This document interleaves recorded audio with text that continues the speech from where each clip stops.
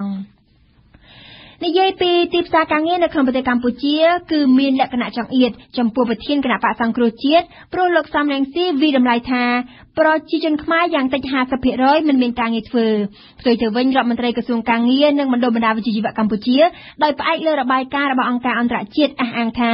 ទីផ្សារការងារនៅកម្ពុជាឥឡូវមានលក្ខណៈទូលាយការយល់ឃើញខុសគ្នានេះមានមូលដ្ឋានលើអត្ថន័យនៃពាក្យថាការងារប៉ុន្តែទោះបីជាយ៉ាងណាលទ្ធភាពស្រូបយកពលករខ្មែរដែលទើបត្រូវបានរដ្ឋាភិបាលថៃបញ្ជូនមកកម្ពុជាវិញ គឺជាក្តីបារម្ភមួយរបស់រដ្ឋាភិបាល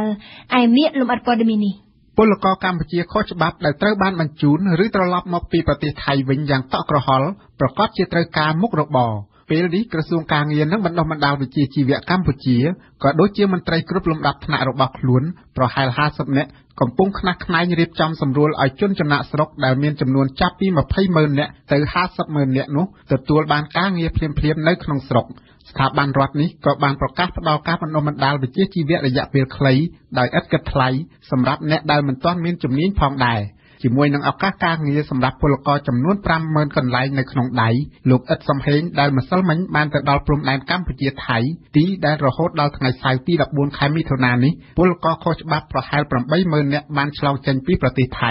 បានលើកឡើងអំពីប្រភពនៃការងារក្នុងស្រុកថាឱកាសការងារក្នុងស្រុករបស់យើងមានច្រើនណាស់ព្រោះថាប្រាក់ឈ្នួលឥឡូវក៏វាមិនខុសគ្នាឲ្យប្រមាណជាមួយថៃដែរសូមឲ្យបងប្អូនទទួលយកសេវាការងារនៅក្នុងស្រុកឥឡូវរោងចក្ររបស់យើងក៏ច្រើនកសិដ្ឋានរបស់យើងក៏ច្រើនការងារសំណង់ការងារអីផ្សេងផ្សេងច្រើនណាស់ហើយដូចជាថ្មីថ្មីនេះរបាយការណ៍របស់អង្គការពលកម្មអន្តរជាតិខាងការងារ ILO ហ្នឹងអត្រាអត់ការងារធ្វើនៅកម្ពុជាទៀតមែនទែនទៀតជាងថៃទៅទៀតមិនចាំបាច់ធ្វើចំណាក់ស្រុកទៅប្រទេសថៃទេចំណុចទី2បើសិនជាបងប្អូនថាឥឡូវចង់ទៅធ្វើការនៅប្រទេសថៃនៅក្រៅប្រទេសអាហ្នឹងក៏យើងមានទីភ្នាក់ងារស្របច្បាប់ផ្ទុយទៅវិញលោកសំរងស៊ីប្រធានគណៈបកសង្គ្រោះជាតិបានលើកឡើងនៅក្នុងសន្និសីទសារព័ត៌មាននៅថ្ងៃសុក្រទី13ខែមិថុនានេះថាទីផ្សារការងារនៅកម្ពុជាចង្អៀត ដែលធ្វើឲ្យប្រជាពលរដ្ឋពិបាករកការងារធ្វើ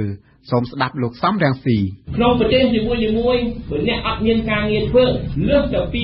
10%នៃប្រជាពលរដ្ឋដែលអាចធ្វើការនឹងគេព្រួយបារម្ភមែនគេថាបរាជ័យសេដ្ឋកិច្ចបរាជ័យតែស្រុកខ្មែរយើងមិនមែន10%ទេបងប្អូនច្រើនណាស់យ៉ាងតិចណាស់តែ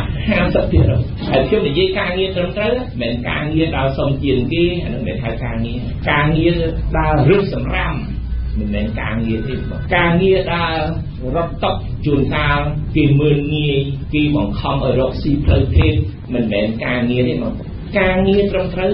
គឺការងារដែលផ្ដល់ប្រាក់ចំណូលឲ្យយើងគ្រប់គ្រាន់ដើម្បីឲ្យយើងអាចរស់បានយ៉ាងសមរម្យយ៉ាងទៀងទាត់និងយ៉ាងថ្លៃថ្នូរការងារត្រឹមត្រូវបែបនេះគឺតិចណាស់បងប្អូន ទោះបីជាយ៉ាងណាក៏ដោយ ចំពោះលោកកងច័ន្ទតារារតដែលជាអ្នកសេដ្ឋកិច្ចឯករាជ្យមួយរូបប្រសិនបើការភ្ជាប់ពលករដែលត្រឡប់ពីថៃវិញទៅនឹងការងារមិនបានទេគេនឹងឃើញមានចរន្តលំហូរកម្លាំងពលកម្មពីតំបន់មួយទៅតំបន់មួយក្នុងប្រទេសកម្ពុជាយ៉ាងច្រើនហើយបញ្ហាអសន្តិសុខនិងបញ្ហាសង្គមមួយចំនួនទៀតនឹងកើតឡើង ការនេះគឺជាកង្វល់ថ្មីសម្រាប់រដ្ឋាភិបាលកម្ពុជា